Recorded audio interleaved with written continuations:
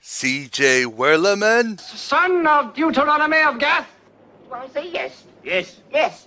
you have been found guilty by the elders of the town of uttering the name of our Lord, and so as a blasphemer, you are to be stoned to death.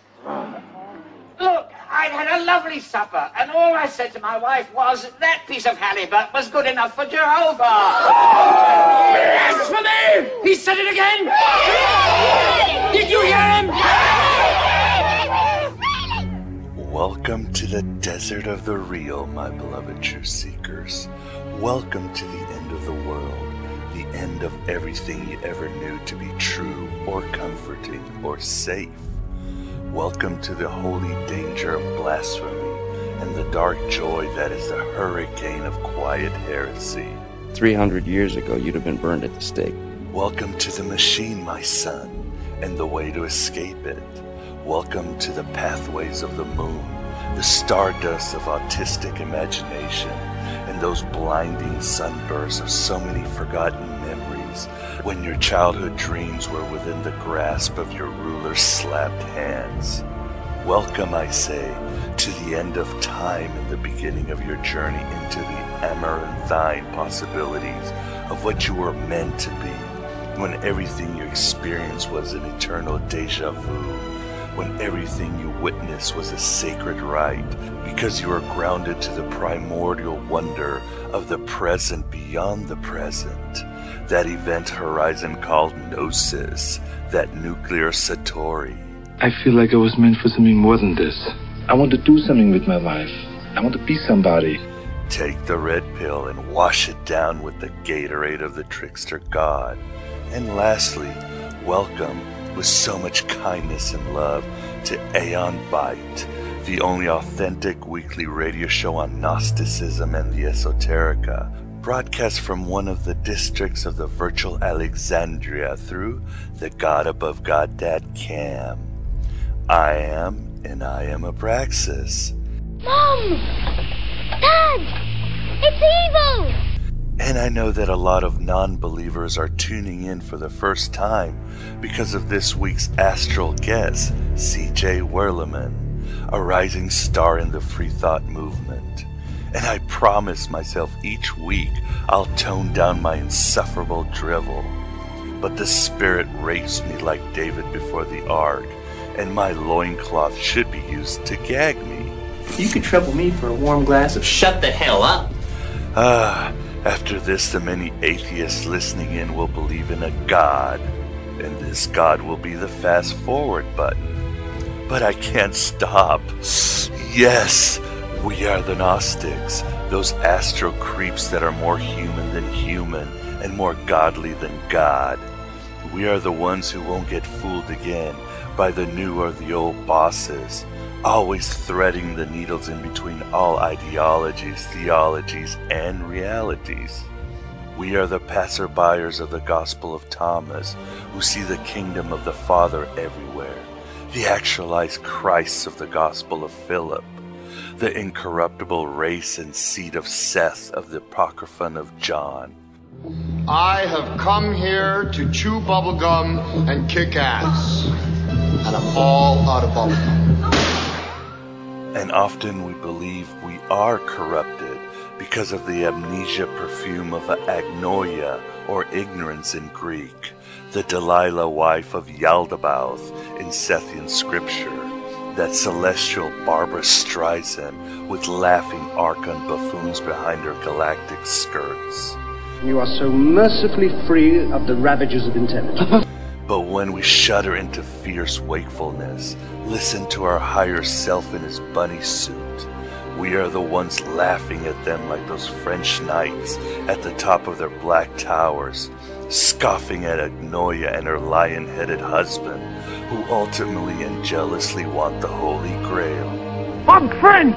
Why do you think I have this outrageous accent, you silly king? And the Holy Grail, in essence, is our souls, filled to the rim with the sparkling water of our divine nectar. And when our ego sips this divine nectar, instead of smelling the perfume of Agnoia, We are truly drinking from the mouth of Sophia and Christ. Gain gnosis, that cosmic broadband connection to the world of ideas, the pleroma, the collective imagination at play with itself instead of the nightmare of the material. Billions of people just living out their lives, oblivious.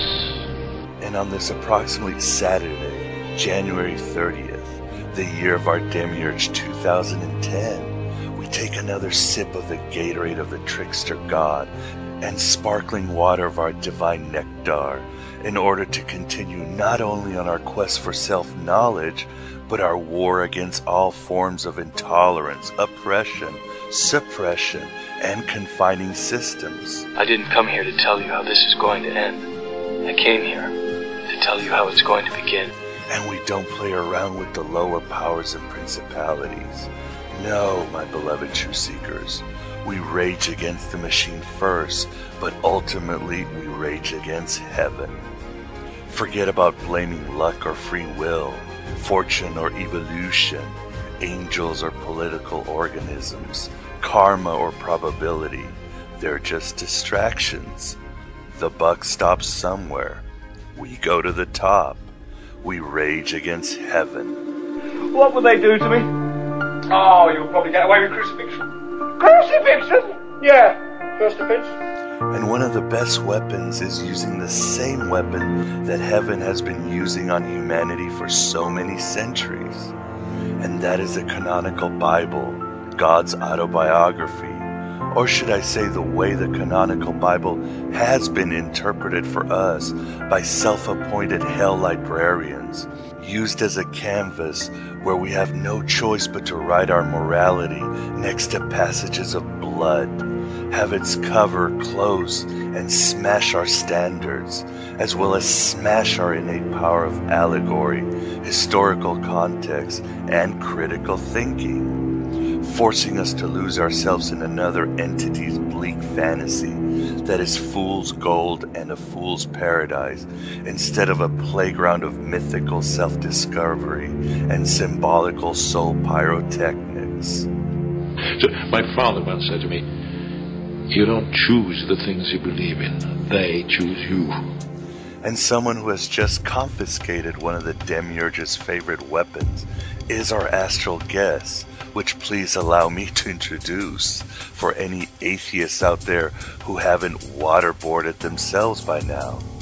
And that is C.J. Werleman, author of the very Gnostic titled book, God Hates You, Hate Him Back. CJ not only exposes the underhanded manner orthodoxy has fooled us into interpreting the Bible, but the fact that literalists, during their campaigns to force inner and outer Sharia laws, don't even truly know what's in the Bible, barely have read it, and probably, in a sort of schizophrenia, don't want us to face the reality in its pages as they project a twisted reality on the world that causes great dysfunction. I got the Lord to protect me. I ain't scared of the likes of you. And much of it because they are loath to exercise a little context, a little perspective, and a little individuality because of the safety in numbers sanity fallacy we all have suffered from, unfortunately. And it's always easier to create enemies like Jehovah always did with the Israelites than to face the fact that our first and greatest enemy is more often than not the man in the mirror. Someone helped put a mirror up in front of my face, and I didn't like what I saw one bit. And you know what I did? I changed. CJ did a very daring thing indeed which was basically hold the loaded weapon while analyzing it. Yes, he actually read the entire Bible using the glasses of a 21st century secular dude, taking it as literally as fundagelicals would, except he was armed with context and perspective and individuality. My free will. I never leave home without it. And thus, he simultaneously disarmed orthodoxy and turned the weapon of Jehovah on himself. Just as the Bible can be brutally boring to many people, CJ is brutally funny. Yet it must be mentioned that he provides keen scholarship, a good historical perspective, and often a poignant view of both ancient and modern society. The combination of God's autobiography and CJ's acid commentary is a wonderful, edgy yet comprehensive campaign of the Old and New Testament, from Jehovah brutalizing humanity in Genesis to Jehovah brutalizing humanity in the book of Revelation. The end is near! We are all gonna die! And in between and beyond, how most of humanity has made himself into his demented image. This is one of those rare books that will make you laugh during and after reading it, and unfortunately cringe when you realize the collective psychological trauma it has caused on Western society. Does man, that marvel of the universe, that glorious paradox who sent me to the stars, still make war against his brother? CJ nimbly seasons the book with both atheist and theist wisdom of the ages from the Greek philosopher Zeno to Sam Harris, from Isaac Asimov to Martin Luther King. He uses grim statistics from inside and outside the Bible that would easily make it into the screenplay of a John Carpenter movie. And when he has to, he simply lets the Bible narrative speak for itself, for better or worse. You see, the book is far from a polemic. CJ points out the places he found wisdom, the characters he saw as admirable, and even the theologies that are inspirational. Go in peace, sin no more, I'm out of here! God Hates You, Hate Him Back is a very entertaining book that is ultimately very serious, and you'll wonder in the end who the joke has been played on. I think the last 2,000 years answers that question, my beloved truth seekers. Gentlemen, you can't fight in here. This is the war room. So if you want to truly understand the Bible, even if you are an ex-fundy, because I know trauma causes necessary forgetfulness, without having to blow your comic book or Magic the Gathering wad on scholarly encyclopedias, if you want to have a good reference manual for your mental notes or during mental Gettysburgs with Judo Christians, or even to impress hot chicks at evangelical campuses whenever your restraining order is lifted, definitely get God Hates You, Hate Him Back. Heck, if you just want a good Monty Python-esque evening of dark satire, go and buy the book. What's uh, funny about Biggus Dickus? And please, for more information, visit CJ Werleman's homepage at GodHatesYou.net. You can even read a sample chapter. Look, but don't touch. The Gnostics realized God truly hated humanity thousands of years ago and proceeded to mock the Almighty for his shortcomings. It's good to see free thinkers doing the same today. Hopefully, they won't receive the same fate the Gnostics did. Whether Jehovah exists or not doesn't matter. He's just as dangerous as he was at the beginning of time. I am the architect. I created the Matrix. Hopefully, non believers are realizing this. After all, maybe the greatest trick God ever pulled was convincing the world he didn't exist, not before pulling the trigger on the Bible. The power of Christ compels you! The power of Christ compels you! But at least atheists are better organized, united, and active than Gnostics. We knowers of the unknown love reason, but hate static, dead facts that can be manipulated by the ego's agenda. We depend on logic, but are so intoxicated by our mystical raves, we tend to fall out of time and mind. We may agree with one another, but like with our writings and the writings of our spiritual ancestors, we're constantly reinterpreting and redefining everything so much to suit our prized individuality, we end up lone wolves in the forests of public discourse. I am so alone. We always rise together, but divided we forever stand. We don't suffer from insanity, but revel in it. We don't take prisoners, but liberate them, one at a time, instead of collectively in the arenas of politics and social activism. Our activism is our infernal art and our Faustian myth making. It's hard to find the moral high ground when we're all standing in the mud. And atheism's growth and solid structure certainly worries me because, like any altruistic movement, it has no choice but to eventually play into the hands of Satan. Dance with the devil, the devil don't change. Devil changes you. Unless, like with Gnosticism, it continually reinterprets and redefines itself, all we'll get is more French and Bolshevik revolutions. The militant branch of the free thought movement parrots the same Borg like sutras from their Qurans of science and logic, if you had noticed, and has crowned their own popes and bishops like Dawkins and Hitchens and Penn and Tellers and so forth.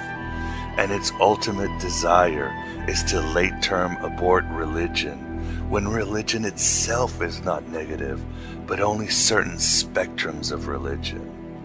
What it seeks to replace it will become, because the Archons always live little Trojan virus landmines from the ashes of any of their creations we think we may have destroyed. History doesn't repeat itself, like Mark Twain said, but it always rhymes. New boss, old boss, my beloved true seekers. You either die a hero or you live long enough to see yourself become the villain. But there will always be the Gnostics around to remind cats that there is always something better than what works, that what works is different for everybody, and that what works will eventually rust away because it lingers in the material world, the mind of the artifact of Philip K. Dick. The empire never ended. Things you own end up owning you. But the enemy of my enemy is my friend and Aeon Byte was given a chance and birth in the caliphates of atheism, once upon a tragedy for humanity. And even better, there are people like CJ who have that context, that perspective and individuality in their camp. As long as he keeps that Roman candle sense of humor blazing, he'll make sure that Cherry stays intact in this latest virgin incarnation of the Enlightenment. You were raped? Oh, at first, yes. But enough of my drivel. Let us to the interview with C.J. Werleman on his book God Hates You, Hate Him Back, as well as other sundries on the serious joke played on us in the form of the Bible and the rise of fundamentalism. This is CJ's first audio interview, and he performed like a veteran, and I'm sure it's the first of many.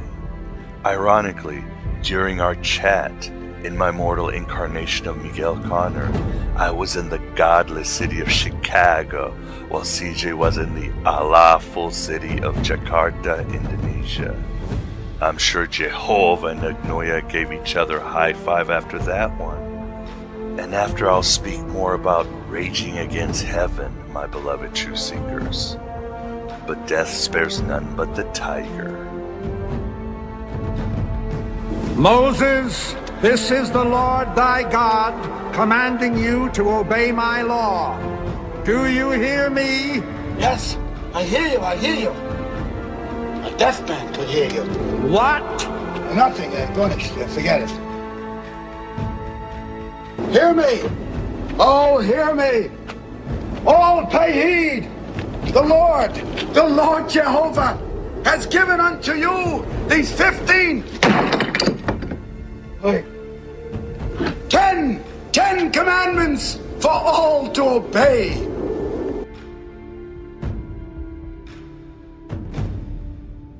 This is the Aeon Byte interview, and with us we have the pleasure of having CJ Werleman to discuss his new book, God Hates You, Hate Him Back.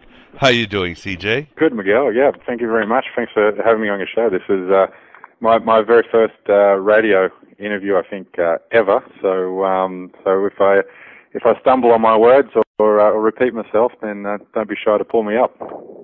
Oh, I'm sure it'll be fine, and I'm sure it'll be the first of many uh, by judging your book. Is it really true that you did what few Christians and Jews have done, and you actually read the entire Old and New Testament? What possessed you to do this, and what possessed you to write your book?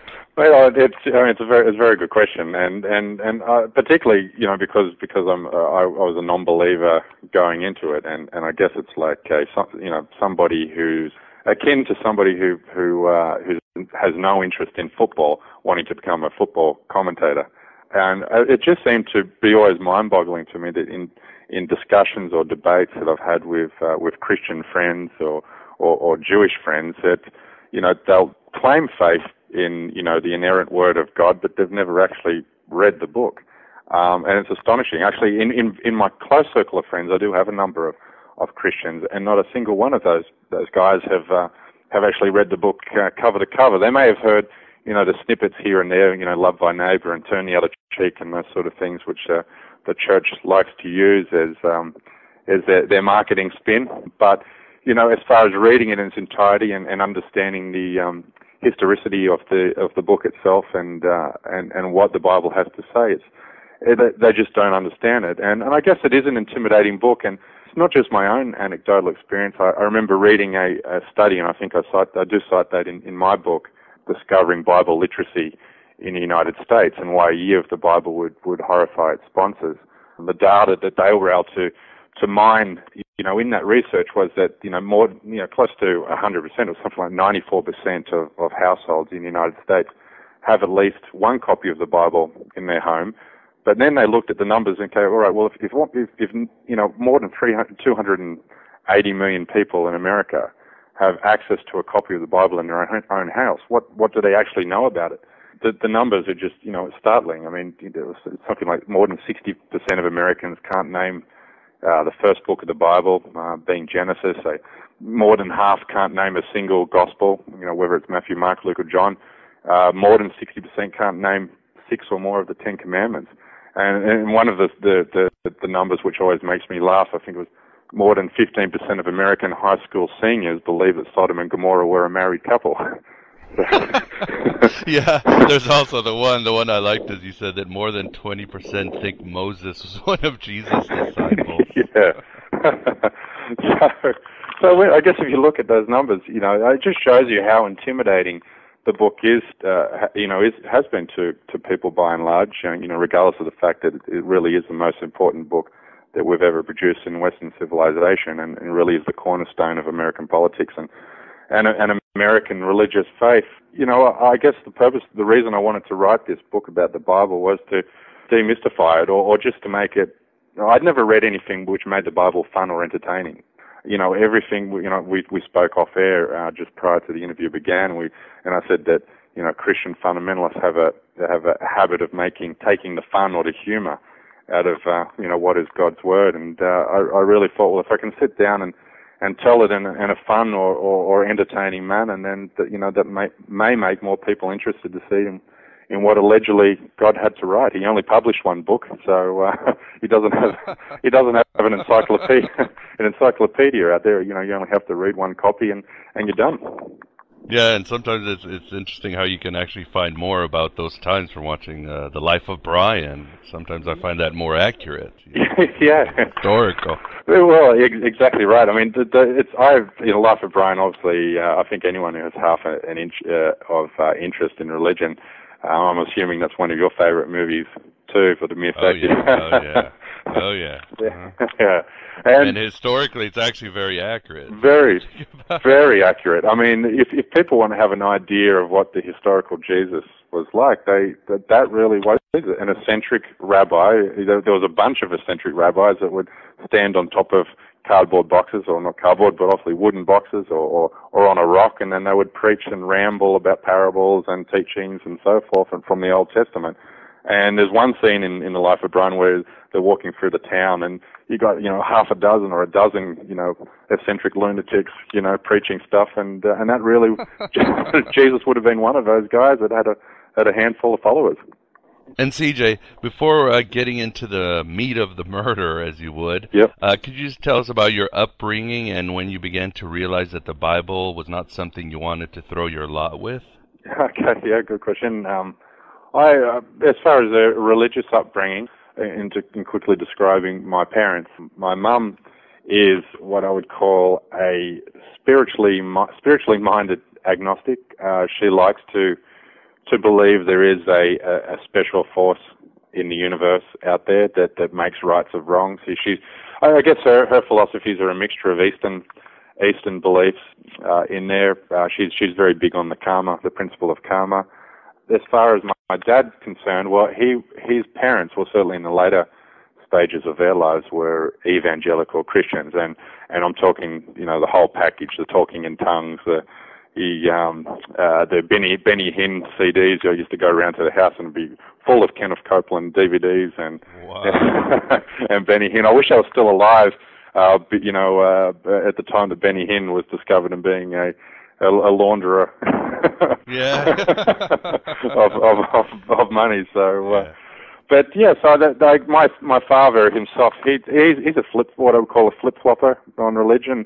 Um, he, he's quite indifferent to it all. If you, if you really pressed him, I guess he would say that he kind of believes in, in the God of Abraham, but then maybe the following year he'll go, oh, no, I don't, I'm not sure. You know, it's so you you can see that a really religious dogma wasn't wasn't big in our household. I, I did go to a a, a, a Christian non-denominational school. You know, they certainly teach the, the Christian ethos, but it wasn't certainly not dogmatic or it wasn't something rammed down rammed down your neck. The only other experience, there was a, little little moment in my life where I, I probably to maybe one or two people did say I, I was I did refer to myself as a Christian, and it was shortly after high school. I I, I went to uh, the United States uh, uh, for a while, and and there was a uh, a girl that, that took my fancy, and and she was, you know, hardcore Baptist uh, Christian, and and I went along to her church services a few times, and and I guess you know, I guess joining that church and my, you know, my I did have ulterior motives, and they're, they're probably hormone fueled rather than rather than theologically fueled. You were uh, right that you were uh, the witness, uh, first-hand witness of a terror attack. Could you tell us about that? And were you already uh, a free thinker then? Yeah, oh, definitely. I mean, you know, I maybe I was apathetic towards religion prior to to 9/11. I used to like discussing it, certainly a lot even even in school, I used to like uh, arguing about it. I, I remember being in school and we we had this. It might have been in the twelve, you know, uh, twelve around about the age of twelve, so grade six, grade seven, and I was like, we had this big poster in the, the science room of of Noah's Ark, and you know had the animals walking up the plank onto the boat. And I remember looking at this at this picture and and you know just constantly looking at it and just and I don't have a scientific mind at all and looking at it going how how the hell that this 900 year old man ushered two of every animal onto this boat. But but moreover, I had this picture in my head. There's there's there's Noah standing in front of the boat with, with his sons. God says to Noah, "All right, buddy, if you if you got everything on the checklist," and Noah's going for his checklist and says, "Yeah, we've got the camels, we've got the sheep, we've got the lambs. Check, check." Uh, just one question: What the fuck's a koala bear? And where where the hell is Australia? and and so that that's where um, I, I guess my religion, my interest in religion started to peak. But then, uh, you know, for most, I'd say up until 9/11, I was somewhat apathetic towards it, it all. Um, then 9/11 happened, and then shortly after 9/11, I read Sam Harris's book. And Sam Harris's book, um, "Letter to a Christian Nation," uh, or, or was it End of Faith? I can't remember which one I read first. And he made a comment in that book, and, and it was a comment I remember just just really leapt out of the pages. And his comment was these 19 hijackers that, that flew their planes as human as missiles into uh, the World Trade Centers, these weren't sociopaths. We need to stop looking at them as psychopaths, sociopaths, maniacs, or mass murderers. We really have to look at them as men of perfect faith. And and that really, you know, really hit me for six when I read that. I thought, wow, you know, that's that's incredible. I thought, well, if if they're really men of perfect faith, what? Surely there must be something in these texts which is making rational minded people launch, well, well, seemingly up until that point, rationally minded people fly, uh, you know, a jet into a, a building. And I mean, if you look at the, the 19 hijackers themselves, I mean, Muhammad Atta, he was educated at the, the University of Hamburg. I mean, this wasn't just some 19 year old punk with, you know, from taken out of poverty and indoctrinated with, um, with a, uh, a radical belief. It was an educated man who was, who was taught, taught obviously with, with a degree, was taught the, um, the skill of critical thinking and analysis and was able to look at the Quran and go, right, this is what God wants me to do, and uh, and I'll do it. CJ, could you give us two or three of your, for lack of better words, favorite atrocities of Jehovah in the Old Testament? I mean, it's. I mean, the Old Testament really is uh, brimfilled uh, with God-inspired or God-led genocidal conquests, uh, ethnic cleansing, and so forth. I mean, uh, but uh, the standout one, and I guess it's a story that we're all semi, at least semi-familiar with. is the, you know, the, the, the fall of Jericho. For me, I, I mean, the fall of Jericho, the story itself is, is by no means a unique story in the Bible. I mean, it's just one of many genocides that, that Joshua is commanded to perform. I mean, uh, Moses died, dies. God says, "Right, Joshua, you're now in, you're now in control, and now you're to lead, you know, the Israelites into the promised land." Now, if anybody should want to mess with you or get on your way, and then you're to annihilate them. And by annihilation, I mean kill every man, woman, and child, and put every single baby to the sword. Um, and you know, any women you don't kill, or you, know, you can make them your sex slaves. Go ahead and do it. So this is Joshua, and he's he's given this this this mission from God. Uh, they cross the River Jordan, which has eerie similarities to you know Moses leading you know across the Sea of Reeds. Um, they get to the the city walls of uh, of Jericho, and um, yeah, I mean it's I mean it's really the the what the Israelites did to Jericho really does make you know what Hitler did to um, Poland look like a game of paintball. I mean they they really go in there and do a number on these guys, and these were the Jerichoians. I think that if that's the term.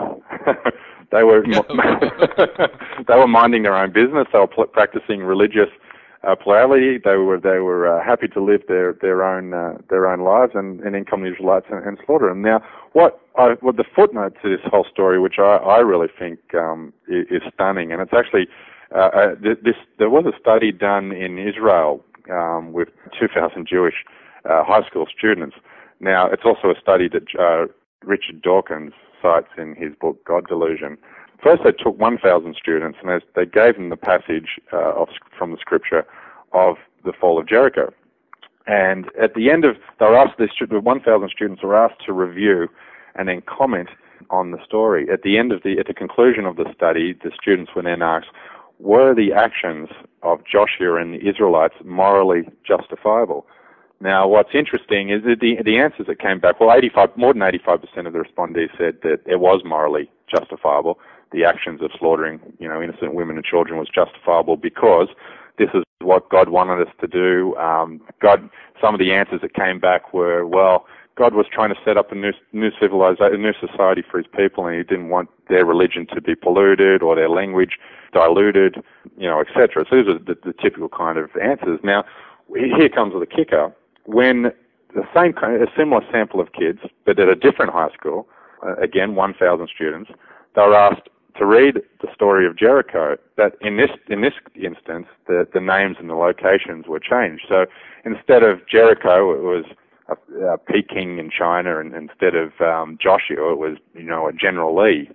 Now the students read this story, uh, uh, exact same story, pretty much word for word, um, and at the end they were asked, you know, were the actions of General Lee morally justifiable? And what we had was a complete reversal of response. It was more than more than 85% of the respondents said no, this was a morally reprehensible action. That is a, a stunning, a stunning study, which really just just show, you know, what a religious, when someone has a, a theistic worldview or religious, they're looking for a religious dogma rather, you know, that kind of paradigm. They're looking at a moral action that really does give a um, a very biased uh, perspective. One thing I always notice, and I, I never could understand, is why do they have to kill the poor animals? I mean, what did the animals ever do? Even when you mention when, you know, if a man has sex with a goat, the goat's not a consenting adult, but the goat still has to die. Yeah, that's right. You know? Yeah, I mean, poor old goat, you know, gets put in a headlock. he gets raped from behind and he, he gets put to death. It's unbelievable. And you got to feel bad for Moses. I mean, the guy gets bullied around, gets you know ordered this and do that and that, and at the end, he just basically gets the pink slip. Like you write, basically at the end, Moses says, "F you, God, thirty years of total subservient obedience, and this is what I get." you know? The patriarch got shafted in the end. Yeah, he did. I mean, he really. I mean, he he was he, was, he told to take these Israelites out of Egypt, and he does that, and then he brings them into the desert, and for 40 years they do nothing but, you know, whinge and complain. Oh, we don't have enough food. Oh, why'd you take us out of Egypt? Oh, we're so much better under the Pharaoh. I mean, I would, I would have ditched those losers a long time ago. and uh, the other thing that really made me laugh is you call the book of Numbers the book of moaning? Because basically I have this picture that you have uh, God driving this car and the Israelites in the back seat, and the Israelites are basically going, "Are we there yet? Are we there yet?" And God is going, "You know, I'm going to turn this car around and go back to Egypt. I'm going to stop this. I swear to myself, I'm going to stop this car and hit you." I mean, they didn't like each other. They were talking behind each other's back. I mean, they, just, they didn't like each other, did they? No, no, I don't think they did. And and I'm, I'm listening to you tell this, and I'm, I'm, I'm kicking myself under the desk that I didn't put that metaphor analogy in my book. the, the kids in the back of the car. That's that's fantastic. You also do uh, uh, and you got this from Wikipedia. You actually put a body count. It's pretty big, isn't it? Yeah, I, I mean, uh, you know, I, I, I, I actually had quite a few people who uh, who have uh, sent me emails in uh, regard to the book. Said that that was uh, a standout moment for them in, in reading the book is, is the body count box at the end of uh, each chapter of the Old Testament. And yeah, the, the the body count gets up there. I mean, so it's kind of I mean I mean the, the, the Bible itself is you know uh, what is it, two hundred and fifty thousand words. It's a monster of a book, and then you know my my book itself you know is uh, around about a hundred thousand words. So there's only there's only so much I can cover uh, in each chapter of the of the in the 66 chapters of the Bible, and basically, I just wanted to put that as a summary, and and just to underscore to the reader, you know, that, that in the in the whilst we're covering some pretty bad atrocities uh, throughout the Old Testament, there, there's some still some um, there's some still some killing going out the back door, sort of mafia style. And ironically, as you say, Satan's body count is barely I think 60 versus, you know, 40 million or something by God. So Yeah, well, and yeah, exactly. I mean, and and re- when you think of it, the guys that Satan kills, he well, God gives him permission to do it. That's Job's pretty much all of Job's family. um, yeah, that's true. yeah, so you know, Satan walks up the driveway of of God's residential palace in the sky, and he and he says he says, God, I found this guy Job, and I think I can get. I think I, I want to make a bet with you that I can sway him to uh, to my way of thinking. And God says, "Oh, look, go ahead and do it." And Satan says, "Well, I'm going to go down there. I'm going to slaughter his family. I'm going to, you know, I'm going to kill his children. I'm going to kill his staff. And you know, let's see if he still keeps worshiping him." God says, "Come on, up. I'll take that bet."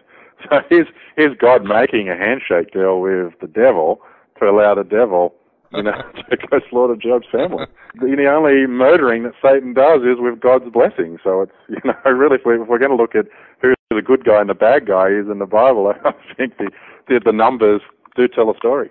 What are some of your favorite Bible absurdities? It seems you really uh, had something about uh, poor Ezekiel eating 430 uh, shit sandwiches. yeah, I, that's that's a funny one. I had to read that four or five times to make sure I was reading that passage correctly. Uh, you know, here's Ezekiel, who's you know he's been made a prophet of God, so he's one of one of God's chosen chosen guys to to give the you know pass on um, to be the conduit of information or communication from from God's memos, and so he, he does everything right, and you know. Uh, and then he, God says, right, look, you, I want you to um, uh, make a street diorama out of yourself, build a build a clay, a clay model of uh, of Babylon, and then lie on your side for the next 430 days. And, and while you do, whilst you're doing it, just eat nothing with that manna bread we're, we're smeared with hu- human shit on it.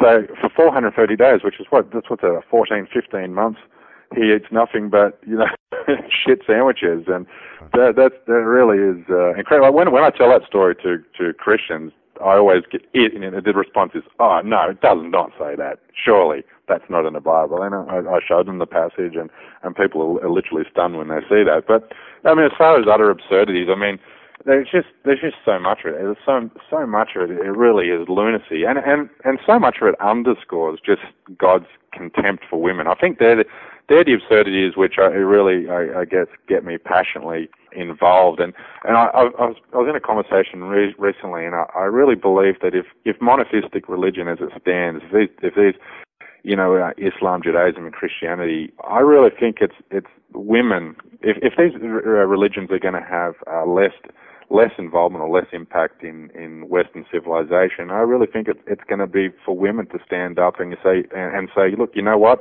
This is just male-dominated bullshit. We're not going to stand it for anymore, and we're going to stop sleeping with you guys unless you put down the book and start waking the fuck up. like the Greeks did when they went to war with Sparta. Yeah, yeah, yeah, exactly. And I mean, these these stories are just so, you know, it's so they're heinous stories against women. I mean, the story of Lot. I mean, this is, I mean, this this is incestuous Lot who fucks his daughters, um, and then you know, uh, uh, God sends down two spies to spy on what's happening in Sodom and Gomorrah. So God tells Lot that he wants to destroy Sodom and Gomorrah, and and uh, and Lot says, "Look, if I can find ten good men, well, you, you know, uh, that probably warrants not to destroy it." So anyway, so you know, God sends down two of his spies, which seems you know absurd that God would need to. If God God is omniscient, why would He need to send spies to to check out what's happening in right, right. in Sodom and Gomorrah? And so He sends down these two uh, two angels dressed as dressed as you know strange men. They knock on the door of Lot. Lot lets them in, stays the night, and then next minute in Sodom and Gomorrah, because it's allegedly supposed, which is a fictitious town anyway, it's supposed to be uh, filled with with with ass raping bandits, you know, in, in police uniforms and leather chaps, and they they they knock on the door of Lot and says, "Look, we know you've got two strange men that we've we've never we've never banged before. Can you let them out here so we can, you know, pack rape them?" And Lot says, "Whoa, whoa, whoa! You know, these guys are friends of mine. They've just come into town. Um, these male strangers are going to stay with me tonight, and and you're not going to rape them. But I'll tell you what, I can see you're not going to go away in a hurry. Take my two daughters." And so he kicks out his two daughters into his street, and this pack of salivating perverts, they have their way way with his, his daughters. And and that it, there there is no footnote to, to say this is wrong. This is just in passing. It's not even a big a big deal. But then you so Lot does this, and then he has sex with his daughters uh, later himself. And then what happens to Lot's wife? Well, she gets turned into salt for daring to look back at a city. Yeah, That's exactly. it. So these kind of absurdities, you know, which are, you know, male-favored absurdities are the, the ones which, um, you know, really stand out. Everything from female slavery to, you know, even the law of adultery. Uh, The law of adultery in the Bible doesn't doesn't refer to a um, a, a man. It only refers to a, a married woman you know, a lot of these things I, I think need to be brought out into the open forum a lot more so, so women can start getting pissed at this. And CJ, are there any books of the Bible or that you actually liked? Uh, it seems you found, uh, literally and figuratively, some wisdom in the book of Proverbs. Yeah, I mean, as far as books that I like, I mean, I like the I like the whole Bible. The Bible. I mean, I, I love the Bible. I mean, uh, as I said, it's Yeah, if, if you look at it historically and anthropologically, it's an interesting book about Bronze Age people, right? Yeah, exactly. I mean, it's it's a fascinating book. But you know, there's there's stories of love, hate, war, treachery, treason, the whole thing. I mean, it's it's just a fantastic book. I mean, I enjoy. You know, I mean, there's some books which are really heavy going in the book. I mean, the um, Leviticus is certainly far from being an exciting book to read. But yeah, the book of Proverbs. I mean, it, you know, a non-believer can take you know some um, some chicken soup for the soul out of um, out of some of the lines which are put forward there in Proverbs. I mean, and yeah, there- there's sprinklings of, of good things in there that you know uh, uh, in the Bible for you know believers and non-believers alike. Um, uh, you know, you know, some of the pro, you know, even if, you know, one Proverbs seventeen twenty eight, uh, you know, one that always stands up for me is, you know, if, if a, a fool, a fool is thought wise if he keeps his mouth shut, um, and discerning if he holds his tongue. I mean, there's, there's, there's little bits of wisdom in there for all of us that, uh, maybe I need to listen to that one a little bit more, but. we all do. We all do. Yeah, and you also are right that you actually uh, like some of the prophets in the Old Testament. Like, uh, did you like just because they are, were always speaking their mind and they were always uh, cranky and they didn't care who they talked to and they were just old hippies walking around? No, yeah, I, I, I love the prophets because they, these guys were just completely bonkers. These guys were completely eccentric, um, I mean, they were basically the ancient street performers. They're like the the grandfathers or the, the the long lost relatives of you know a Criss Angel or or someone someone like that. I mean, you, you know, we we spoke about Ezekiel eating his turd his turd tacos uh, for all that time, and then you, you've got you've also got Isaiah. I mean, there's Isaiah. He walks he walks up and down the street of Jerusalem, and not for a day or a two or a week or a month. He, this is for for almost four years. He walks up and down the streets of Jerusalem completely naked. Through winter, you know, the fall, the summer, you have it. He's walking up and down the street completely naked, and that's his way of telling the Israelites that you know, um, ex- exile is coming again at Babylon. Because we've been disobeying God, we're now going to be taken back into slavery. So these guys had, um, you know, interesting uh, ways and, and very eccentric and, and far out uh, methods of um, of conveying their message. So you you got to love them for that. And uh, moving on to uh, the New Testament, how do you see Christianity truly spreading versus what we've been taught. Uh, I guess you can start with the misconception that Christianity was a major player in the times of Constantine. Yeah, I, I mean this, this is this is interesting. I mean, uh, any any biblical scholar knows this to be um, to um, this is part and parcel with it. There's no surprises there. But you know, if you if you speak to the average person in the pew, they they, there's this misconception that that that Christ, that Jesus's teachings and Jesus's miracles or, or alleged miracles must have been so profoundly amazing that people just immediately fell to the floor and started worshiping this, worshiping this person. They they left Judaism, you know, millions left Judaism, and millions left their pagan religions to follow Christianity. And really, that is not the way that that it started. It, you know, even when Jesus was alive, he only had, you know, a handful of, he had, well, he had 12 dudes that wore dresses that followed him around. so, um, you know, and then he died, you know, and then, then he's, then he's, then he's killed, and, and then nothing. There's absolutely nothing. And then, you know, almost a, genera- a generation later, after he's dead, you know, Paul comes along and and you know he he, he sets up. Uh, he talks about he talks about mostly just about the uh, the, the the you know the death and the resurrection of uh, of Jesus, and he gets he starts building these little churches, but not churches in the way that we understand them today. You know, we're, we're talking about small gatherings and you know the backyards of of uh, people's homes, and um, so it started like that, and, and for uh, not until the fourth century. I mean, you know, the, the Romans and the Greeks and the Jews fought these these fledgling Christians were, were really just a bunch of lunatics. They were, they'd look at these guys and go, what you believe? What? You know, what? Um, a, a human was born from a virgin and then, you know, and then he was killed as a criminal and this is the son of God and then he, you know, rose into heaven. They, they thought these guys were so wacky that that's what the reason they, they fed them for the, to the lions for the first 300 years. And it, it really wasn't until, you know, the, um, the, the, the big break, the big break for Christianity came and, you know, when uh, Constantine, made his conversion to uh, to the Christian faith, and it is a story I guess you know a lot of us know well now. But you know at the point of his conversion, it's said that under the Roman Empire that that less than one percent of the Jewish population did believe in the Christian faith. So we're, we're talking no more than forty thousand people. You know, three, you know, more than 300 years after um, uh, Jesus had died. So he uh, Constantine makes the the conversion. Um, so you know, and at that time the Romans were pagan worshippers. They worshipped gods for everything: gods of the sun, the moon, even a god for the toga party. So they they get that happening, um, and, he, and he thinks, well, there's there's an opportunity here to, to institutionalize or, or or to control a, a one god religion. First, he puts out what, what was it the uh, the edict edict of the edict, yeah, yeah. yeah edict of Milan so he puts that out. So first of all, he, he prohibits the the throwing of Christians to the lions and then the persecution of them. So that that's now the Christian faith then can sort of start to go ahead and and uh, and build. But you know that's where it started, and it, it, he. You know, I, I I believe that Constantine just saw this this one god religion. I mean, if you got you know if you if the national religion is worshiping many gods, it's something that's very hard to institutionalize or, or control.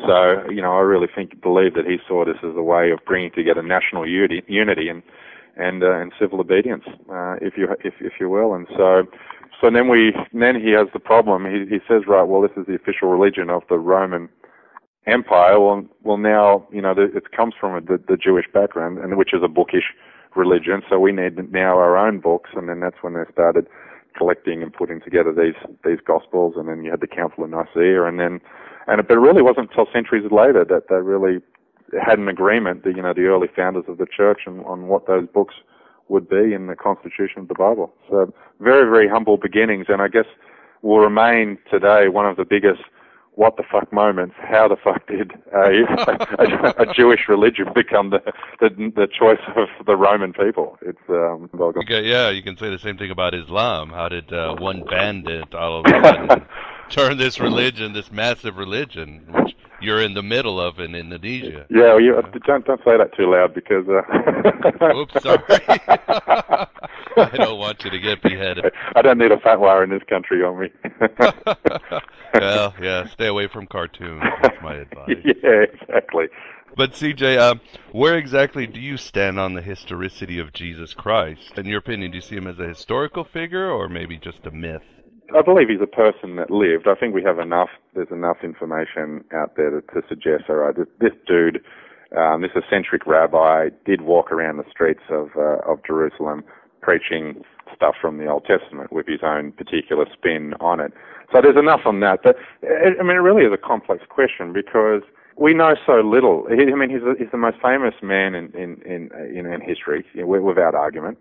I mean, we, we have no self-written manuscripts from him. We have no eyewitness accounts of his life. We have no independent articles which are unbiased that that don't have an agenda to write about this guy. We just we don't we don't have any birth or death certificates. We have no artifacts. We we, we really do have nothing. And it's not like that era is void of of historians or or, or void of of journalists. You know, at that time. I mean, we have we have all these independent accounts of of contemporaries in that period of you know people like Caesar and Pilate and Cicero, but but of Jesus, we who uh, was alleged by Christians to be the Son of God, the Son of Creator, we, we hardly know of uh, uh, a, a, an absolute verifiable fact about this person. And and what we do know about him comes from, oh, excuse me, what we do know uh, about. Uh, it's mosque. yeah, exactly. Um, I think that means incoming. oh, so yeah, what we, what, I guess, what we do know about about Jesus really just comes from, you know, for most of us uh, who only you know, most Christians only who, who don't read the Gnostic Gospels, but the, the four Gospels, which are, you know, canonized into the New Testament, what we know of Jesus is pretty much just what Matthew, Mark, Luke, and John. We just have four biographies of these guys. Now, were these four biographies, four, four biographers, were they contemporaries of Jesus? Were they friends of Jesus? Were they the, the disciples? Absolutely not. These, we don't even know who Matthew, Mark, Luke, and John were. They never met Jesus. They never even met the people that did meet Jesus. These were these were accounts written about Jesus based on oral tradition, based on what these guys had heard, whoever these guys were, long after Jesus had passed away. So, you know, I mean, the the first one to write was Mark, and you know, almost he began writing almost a generation after Jesus had passed away. So we have a, a, Christian faith and religion that people give their lives to in servitude based on such limited accounts and really just limited limited to hearsay. And uh, a court of law doesn't accept hearsay as testimony, um, and, and neither does honest modern scholarship. So to base it on no proof or evidence is is it, it's a difficult one. But uh, you know, I believe that like in like in the life of Brian, um, there was a Jesus that walked around and and uh, and preached some things from uh, from a soapbox, but um, certainly we know that the you know suspension of the laws, you know, governing the suspension of nature, we know that we can be pretty sure he didn't walk on water or uh, be born of a virgin or or ascend into heaven shortly after his death. And moreover, these gospels, and I know you've had Bart Ehrman on on your program. Uh-huh. Yeah, he's I mean certainly one of my heroes, and I, I read all of his stuff. He's an absolutely fantastic writer, and and uh, he's so concise in his in his arguments and and he he doesn't do it with a an atheistic motive, motivated agenda either. And to, to borrow Fox's the Fox Network's mantra, he really does do it in a fair and balanced, fair and balanced yeah. way. So I mean, you you only have to you know if you read you read uh, any of his books, and you know he makes the points, you know, even better than much better than what I do, probably than I. That you, uh, if you look at all the aspects of Jesus' life from his birth to uh, to his baptism, to his, his ministry, to his trial, to his execution, to his resurrection. Well, there's four biographers who never met Jesus and were written long after he was dead. Well, they don't even, there's no even consistency in these stories. I mean, they contradict one another wildly, and not just small contradictions, we're talking about irreconcilable discrepancies. Do you see Jesus even as an exemplar for humanity? Uh, short answer, no. Um, no, I don't. You know, you'll hear people say, and you'll hear apologists say, okay, well, okay, maybe he wasn't a son of God, but at least he was a great moral teacher. Well, the, the Bible doesn't leave that with us. Um, I mean, it was C.S. Lewis, who I know did convert to Christianity, but C.S. Lewis wrote he was either a liar, a lunatic, or, or Lord. He, he, you know, so the things he, that he he said, he, these were the, the, the ramblings of a lunatic. I mean, we look at the Bible. He was he was rude to his mum on several occasions. He was ill-tempered. He was a racist. You know, the, the, this treatment of the Canaanite women in the Book of Matthew is, is a standout. This woman you know, sobbing and pleading. She had a sick daughter. I mean, they didn't know the germ theory of disease 2,000 years ago, so as soon as somebody had a common cold, they thought the demon was, uh, demons were inside that person. So this woman says, look, Jesus, you know, I've got my daughter. She's sick. I love her. She's got a terrible fever. I think the devil is inside her. And, and Jesus says, piss off. I don't want to, I don't want to know about you. You're not a, an Israelite. And she says, but Jesus, I believe in you. And he goes, look, I'm not going to tell you again. You, I'm only here for the lost sheep of Israel. And you don't take, you know, the, the scraps from the table to feed them to dogs. Now, to call somebody a dog in those times was just about as it's probably equivalent of using the c word in the in the 21st century. So this, this is he was a race, and all Jews were. I mean, you know, the at that time, and and probably you know, that's not an indictment against the the, uh, the Jewish people of that period. You know, you could say the Assyrians were uh, racist, the Egyptians were racist. They just wanted to protect their own societies, and the Old Testament does say love thy neighbour, but what they really mean in the context of that test is love thy neighbour only if your neighbour happens to be Hebrew. If they're not, well, just go ahead and kill them. And Jesus was no different to, he was a Jew. He was raised by Jewish parents. He went to all the Jewish holidays and he observed all the Jewish laws and, um, he didn't like anyone who wasn't a Jew. And then, as far as his teachings are concerned, well, these are just, uh, they're far from being you know, in, insightful or uh, or wonderful teachings of love. I mean, he, the big doozy of them all um, is that you know the don't worry for tomorrow. I mean, this what suffering did he in, needlessly inflict on his small band of followers? Don't worry for tomorrow. What that implied to them was, look, don't worry about your diet, don't worry about your health, don't worry about investment, don't worry about savings, don't worry about parenting, don't worry about growing your crops and why did he say these things? Well, he said that because he promised his followers that he would return to earth uh, before they would experience death. In fact, between him and Paul, there's 36 promises that Jesus will return to earth before that current generation is dead. So we can we can assume that before 100 AD, Jesus absolutely was making those promises. He would back before 100 AD, so that you don't have to worry about you know things like spending and thrift and the things that we we, we covered. So, uh, so he turned out to be a false prophet. He would have caused uh, horrible hardships for those followers with that, that piece of advice. Yeah, well, I mean, we can we can look at some of the other things he said. You know, do unto others the golden rule. Well, I mean, that's not unique to Jesus. We know Socrates said uh, exactly uh, the same thing 500 years before Jesus said it. And I guess if we're going to look at great moral teachers, and if we're going to put Jesus, uh, uh, you know, side by side with uh, with Buddha and side by side Socrates, who, who, who both predated Jesus, well, Socrates never said, uh, "Look, if you don't believe, um, if you don't believe what I have to say, then you're going to burn forever in hell." I don't, I don't find a, a moral model in looking at the life and teachings of Jesus. I really don't. It kind of reminds me of your argument or your what you brought up is the same thing Mark Twain brought up is that you know God came and was cruel, but at least when he killed you, that was it. Your suffering was over. Jesus came and he gave you even something worse, which is hell. Yeah, you know, literal hell. Yeah, exactly. I mean, that's you know, as as, as barbaric as the Old Testament uh, is and was, um, at least you know when you died, your suffering was over. You know, along comes Jesus, and well, you know, death is just the beginning of your suffering. You know, you've got uh, uh, an eternity with a with a hot steel, you know, hot rod jammed up your ass every day for a trillion times a trillion years. To make matters worse, like you point out, is that what uh, unlike what most people believe is that when you die, you don't even go to heaven, do you?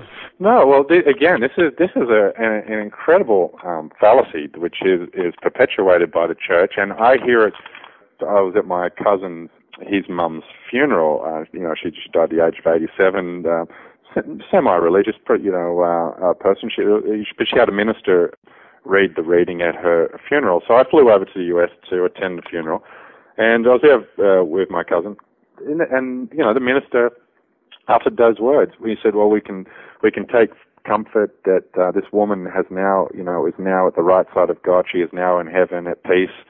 You know, in the future, we will, you know, her loved ones will join her there." I mean, this is a minister um, who, who has either who has either a not read the Bible or b has is intentionally deceiving his flock or his uh, or, or this people. I mean, this is I don't see how that is a, a morally correct position of someone who wants to, to portray themselves as somebody who is uh, speaking the moral word of a uh, of a religious doctrine. Now, the Bible says quite clearly. I mean, there's, to begin, there's no heaven or hell in the Old Testament. The, the, as we mentioned, the heaven and hell concept doesn't start until Jesus comes uh, comes along. But we only go to heaven after Jesus has returned to earth. Now, if you're a Christian, um, I mean, I know it just brings little comfort to somebody who has, you know, a loved one on a deathbed. I mean, death is, you know, uh, it, it, it's a it's a tragic thing. But let's, I don't see the point of being deluding ourselves either. I mean, where nobody goes to heaven until Jesus makes that second return to earth, and then judgment is brought upon uh, the planet, and then the the evildoers are sent to the sulfur the sulfur pits of hell, and the good guys are sorted out and they're taken to heaven. So it, until Jesus, until that day, if you really want to imagine that Jesus will return to earth atop a white fluffy cloud, then you go ahead and believe, and believe that will happen. Uh, what are some of the negatives you see in the atheist movement itself? I know you recently posted on Twitter that atheist activists seem to kind of tiptoe around Islam a bit too much, don't they? Yeah, yeah, I, I, I guess I do. Um, I, I made a joke of it before, so probably may may sounding like a hypocrite now. Oh, where you live, yeah, you're gonna have to. can I, can I? Get, I'll give you one answer while I'm here, and then if I if I ever meet you in the United States, I'll give you a different answer. But no, I think it's it's a it's a fair question to ask, but I, I think there's there's reasonable answers to that. I, I, I don't see any, I mean, really, I don't see any flaw in the, the atheistic movement. Maybe there can be accu- accusations uh, that, that it can be a little bit vitriol or shrill at times, but I mean, haven't non-believers put put up with 2,000 years of uh, vitriol and uh, and shrillness? I mean, we. Um, I mean, in, in the United States, it was, a, you know, we had eight years of uh, a Christian-led, you know, political doctrine. I mean, we we had stem the stem cell uh, bill was vetoed um, by an evangelical Christian. So I, I really believe that people are at this, this stage. It's, it's enough is enough. And and if you look at great social change throughout the you know the the history of times, I mean, very very few very there's very few instances in history where we can look at and say, look, great social change occurred because people were being polite. Often it takes people to become impolite for um, for bad things to end. And you know, if you look at the end the end of slavery in America, it came that reached a point where you know some good people in in the northern states went, you know what, this this this is wrong, despite what it says in the Bible about slavery being a pretty good thing. This is not right in the you know the 19th century, so let's do something about it. And they they went down and, they had to kill a lot of Southerners, but they that change was made out of not being polite. And you know, if, if atheists sometimes go over the top in attacking, in verbally attacking Christians, obviously, uh, then I yeah, I think well, fair game. I mean, if you if if one thing for people to practice something in the privacy of their own home, which I have absolutely no problem with. I don't I don't care if there's two billion uh, Christians or, or being Muslims uh, floating the planet. If they want to do it in the privacy of their own homes or or go to their churches, that's fine. But as soon as they start bringing that religious belief into the political forum, that's where I have a problem, and that's what that's where we have issues with retarding our social progression. So basically, as long as it's it's non-violent, as long as atheists stay non-violent. Oh, absolutely. Yeah, absolutely. Yeah. That's where you draw the line. Oh, yeah. There's no excuse. Obviously, I, I, I hope I didn't misspeak in that in that sentence, but yeah, absolutely no excuse for it. And and even, I mean, I think it can be. Uh, I, I and I, I believe that the, the discourse can be, you know, pleasant at the same time. I mean, it just all it takes is, I think, for I mean, we we haven't gone to at the very beginning of this this uh, this interview. We spoke about that lack of Bible biblical literacy. I, I if you the trend the trend is in our is is in our favour. I mean, in, uh, the atheism, atheism is the fastest growing minority in the United States now. I mean, that the the number of people who the percentage of people the percentage of Americans who now call themselves atheist or agnostic has doubled in the last ten years. If we can see if current trends continue, then around about somewhere around about 2040 or 2050, and then non-believers will be, you know, the majority.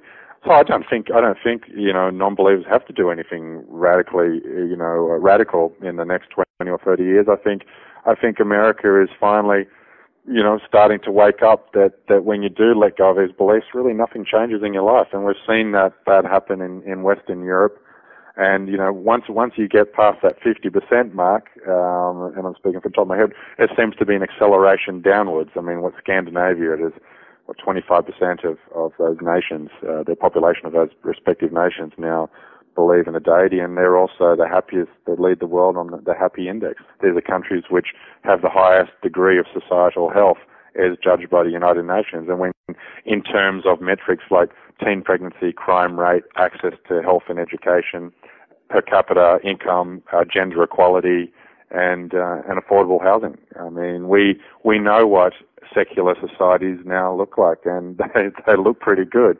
And if you've been to Stockholm, there's some pretty hot chicks there.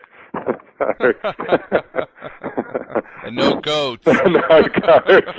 yeah, exactly. And no camels. So basically, yeah, no camels. So basically, I, I was going to ask you what uh, religious or non-religious movement you see as the greatest threat to individual freedom in the 21st century.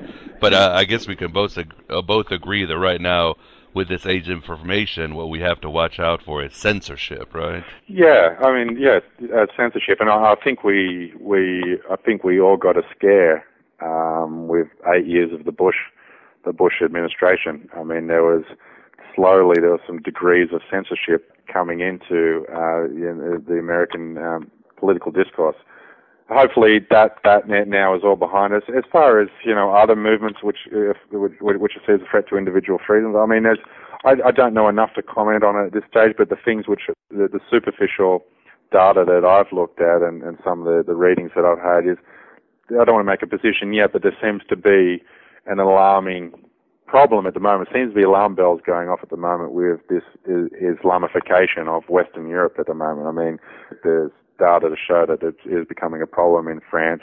Islam is different, and, and it's not just religion; it really is a political movement uh, at the same time. And and and it's the, the models that we have, and this actually comes from the, the the CIA Global Handbook that you know, if Islam stays below 5% of a, of a nation's population, then you barely hear a peep out of them. Once it gets above 10%, then you start to get a few protests, and then above 15%, then you start to get the odd riot. And then once you get above 20%, well, then you have political power, and then you have one or two political uh, seats taken in your your your uh, houses of government. And once you get to that stage, and then inevitably the push for Sharia law begins. We're seeing that in France. Um, what in Britain, I think the Islamic population of Britain now is around about five percent, um, but it's growing, growing. Um, and I, yeah, there seems to be concerns there. I mean, you know, Sharia or Sharia law, um, whatever the pronunciation is, it's it's an issue, and I, I've seen it firsthand here in Indonesia. Um, the province of Aceh in Indonesia has now just yeah been able to implement uh, Sharia law there. So you know, if, if two gay men in love are caught in the backseat of their car, um, embracing one one another in a passionate manner, and then uh, the death penalty for them. So this is something which you know people who will will want to stand on the people by and large who want to stand on the sidelines of religion say, oh, let, let people believe what they want to believe. Well, I think that's kind of wrong. I think that's you're not looking at the the hard the issues. I mean, that's fine to let people believe what they want to believe, but as I mentioned before, once it gets into politics and then uh, and so forth, and then you have a then you have an issue. Well, I think that's all the time we have today or uh, this morning, CJ. Yep. Uh, I'd like to thank you very much for coming on Aeon Byte. Yeah, thanks very much, Miguel. I really enjoyed this interview. I've enjoyed the chat. And uh, yeah, but my the the book is, as mentioned, it's, God Hates You, Hate Him Back. It's making sense of the Bible. Um, it's available on Amazon or or Barnes and Noble, or or, or your uh, listeners can uh, go to my website, which is at godhatesyou.net. All right. Well, thank you very much for coming on, and uh, good luck with your book. Thank you very much. Thanks, my pleasure. And there you have it, my beloved truth seekers. C.J. Werleman on the magical mystery tour of God's autobiography. From his book, God Hates You, Hate Him Back. Learning the Bible and using one of Jehovah's favorite weapons against him has never been this much damn fun. Certainly more fun than when Homer Simpson played the entire Bible narrated by Larry King on his Walkman in that episode where he eats the poisonous blowfish. And please, and for more information, visit CJ Werleman's homepage at godhatesyou.net. Like I said before, you can even read a sample chapter. Oh, and I must point out, now that I think about it, that Satan's body count is higher than just the 60 in the book of Job. In the book of Chronicles, Satan does kill 70,000 Israelites, but again, as the wise guy of Jehovah and his angelic mafia.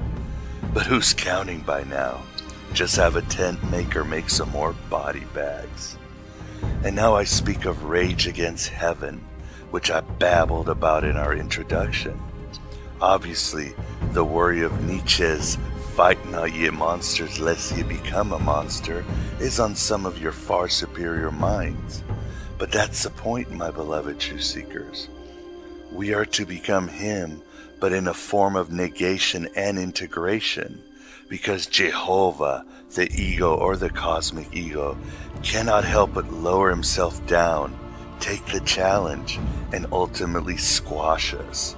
Yes, raging against heaven is losing a battle, but it's also the winning of the war. Our destruction is his destruction.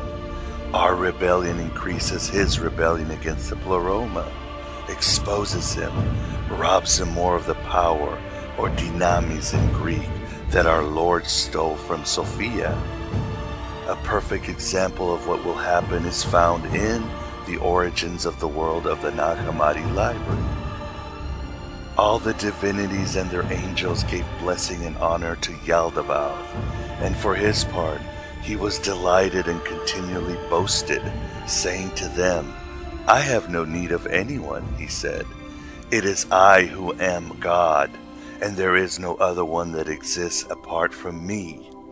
And when he said this, he sinned against all the immortal beings who give answer, and they added it to the charges against him. Yes, every time the demiurge puffs up his chest, he further brings about the eventual dissolution of the universe, or perhaps weakens the infrastructure of his creation, so that we may find our way home to the palm tree garden, even as in our fights we are further forced deeper into matter and forgetfulness. It's a gamble, a narrow bridge, the eye of the metaphysical needle. But the Gospel of Thomas, number 91, reveals the old man's eventual fate. Jesus said, The kingdom of the Father is like a man who wanted to kill a powerful man. He drew the sword in his house and drove it into the wall, that he might know his hand would be strong enough. Then he slew the powerful man. And the kingdom of the Father, as we all know, is all around and inside us, my beloved true seekers. St. Paul writes about the birth pangs of the universe. The Valentinians wrote about the birth pangs of Sophia, giving birth to Samael. Integration can be violent, and gnosis is deconstruction. It hurt when the narrator and Tyler Durden became unified in Fight Club, when Neo absorbed Agent Smith, when Captain Ahab shook his fist at the white whale after losing everything. It will hurt when our Eidolon, our lower self, melts away from the bones of our Deva forms. It will hurt so good when the angel Michael, an avatar of the Demiurge, pierces our hearts and realizes it won't stop beating. Ever, ever. So we should rage against heaven. And finally, for the atheists listening in who haven't beaten their CPUs with cricket bats or erased any history of the God above God dad cam on their browsers, and for those perhaps clinging to the concept that the Demiurge just ain't that bad of a guy, just a lovable psycho like Hannibal Lecter, simply misunderstood by our little mortal minds, or that he just doesn't exist, let me quote you from Heller's Catch 22. Don't tell me God works in mysterious ways. There's nothing mysterious about it. He's not working at all. He's playing, or else he's forgotten all about us. That's the kind of God you people talk about. A country bumpkin, a clumsy, bungling, brainless, conceited, uncouth hayseed. Good God, how much reverence can you have for a supreme being who finds it necessary to include such phenomena as phlegm and tooth decay in his divine system of creation? What in the world was running through his warped, evil, scatological mind of his when he robbed old people of the power to control their bowel movements? Why in the world did he even create pain? I'm sure there are gumdrop gurus out there who know more than what is self evident, like making excuses for an alcoholic husband after he's gone on a beating rampage. But believe what you want. Just keep writing your own gospel and living your own myth. At the end of the day, I'll see you in hell for the last battle, Aslan. And now we end with some music by my friend Errol Eichsel. And I do hope I'm saying his last name right, or I'm sure I'll hear about it in uh, our next email session. Anywho, Errol is a Gnosticoi extraordinaire and a great artist. The tune is entitled Initiation. Welcome to the desert of the real. Hello and goodbye as always.